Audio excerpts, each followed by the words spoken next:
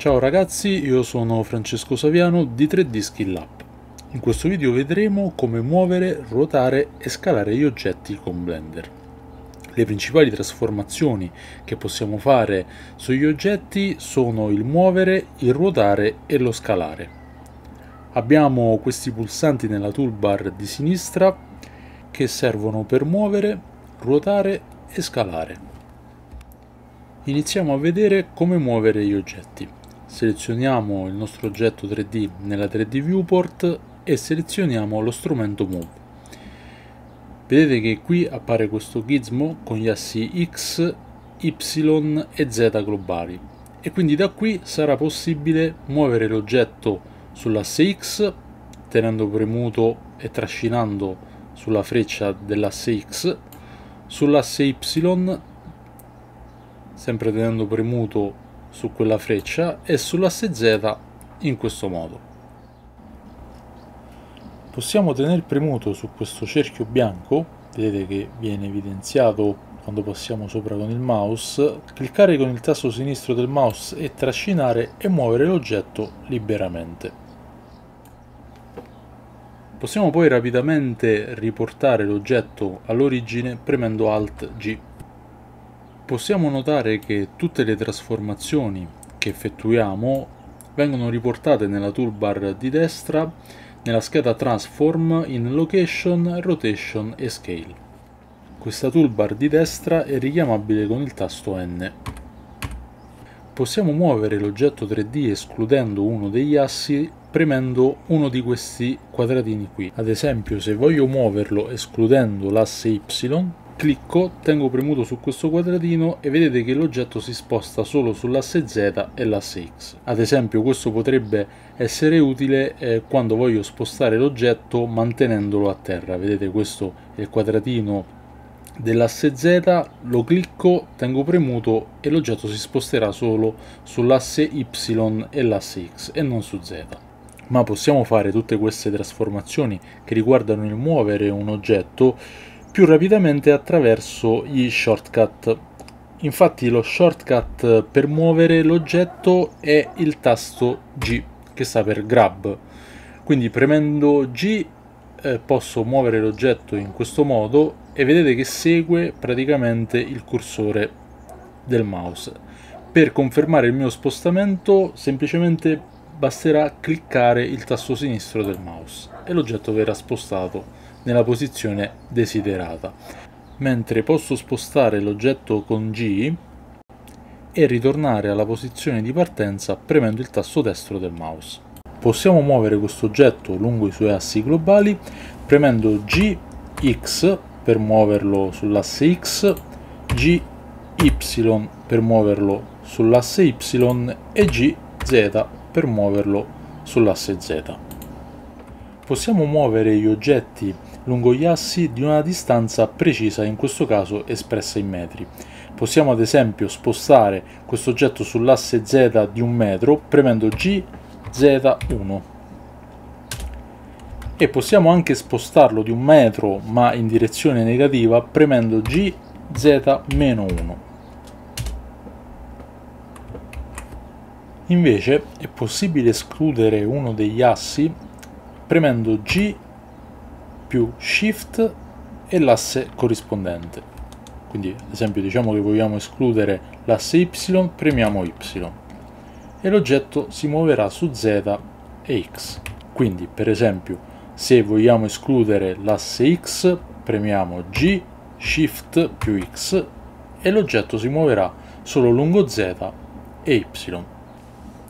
Inoltre, quando abbiamo bisogno ad esempio di fare delle trasformazioni precise possiamo anche inserire direttamente i numeri all'interno della transform oppure eh, cliccando e trascinando con il tasto sinistro del mouse vedete che le trasformazioni hanno effetto anche da qui. E possiamo anche tenere premuto shift e trascinare con il tasto sinistro del mouse per muoverci in maniera molto più lenta in questo caso più precisa questo vale anche per le altre trasformazioni, quella di rotazione e di scala. Ed è valido anche nella 3D Viewport. Vediamo ora la rotazione. selezioniamo Rotate qui nella toolbar di sinistra e qui possiamo selezionare l'asse X di rotazione e vedete che l'oggetto ruoterà sull'asse X, possiamo selezionare l'asse Z e ruotare l'oggetto sull'asse Z, sempre tenendo premuto il tasto sinistro del mouse e trascinando, e l'asse Y. Possiamo eh, riportare a zero le nostre trasformazioni di rotazione semplicemente premendo Alt R e anche per la rotazione sarà possibile utilizzare uno shortcut, in questo caso il tasto R, e possiamo ruotarlo sugli assi globali premendo RZ per ruotarlo sull'asse Z, RX per ruotarlo sull'asse X, RY per ruotarlo sull'asse Y.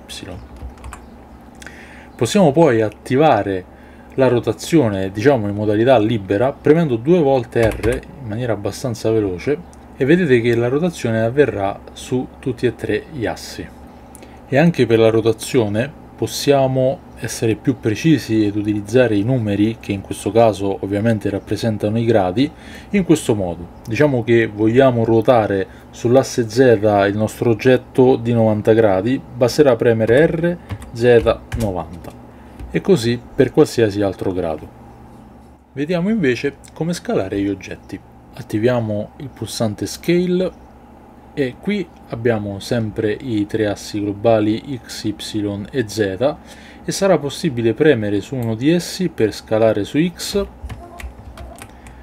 per scalare su y e per scalare su z mentre possiamo premere su questo contorno bianco e eh, l'oggetto verrà scalato contemporaneamente su tutti e tre gli assi. Anche qui, come per lo strumento Move, possiamo premere uno di questi quadratini, tenere premuto con il tasto sinistro del mouse e trascinare e in questo caso l'oggetto verrà scalato su X e su Z tranne che su Y. Ad esempio se premo questo quadratino rosso l'oggetto verrà scalato su Z e su Y, vedete tranne che su X. Lo shortcut per scalare è il tasto S e la logica è la stessa. Premiamo S per scalare contemporaneamente su X, Y e Z, premiamo SX per scalare sull'asse X, SY per scalare sull'asse Y, SZ per scalare su Z. Premiamo S Shift più X per escludere l'asse X e quindi scalare solo su Z e su Y, S Shift Z esclude l'asse Z, S Shift Y esclude l'asse Y. E ancora una volta possiamo scalare in maniera più precisa e lenta premendo S e tenendo premuto Shift, oppure possiamo scalare anche attraverso la transform sull'asse X, sull'asse Y e sull'asse Z. Per scalare contemporaneamente su tutti e tre gli assi bisogna tenere premuto con il tasto sinistro del mouse in questo box dell'asse X, trascinare giù e poi muovere il mouse a destra o a sinistra, in questo modo verrà, verrà scalato contemporaneamente su X, Y e Z. Possiamo ripristinare le nostre operazioni di scala premendo Alt S. Anche in questo caso sarà possibile utilizzare un numero per scalare ad esempio con quel fattore, possiamo dire SZ2. Sul pulsante Scale, se teniamo premuto con il tasto sinistro del mouse, possiamo scegliere Scale Cage. Questa gabbia è, è utile quando ad esempio vogliamo scalare l'oggetto eh, su un dato punto e non dall'origine, perché con lo scale tradizionale l'operazione sarà fatta sempre eh, in base all'origine vedete la scala avviene in base a questo punto qui mentre possiamo attivare scale cage abbiamo più punti da dove poter far partire la nostra trasformazione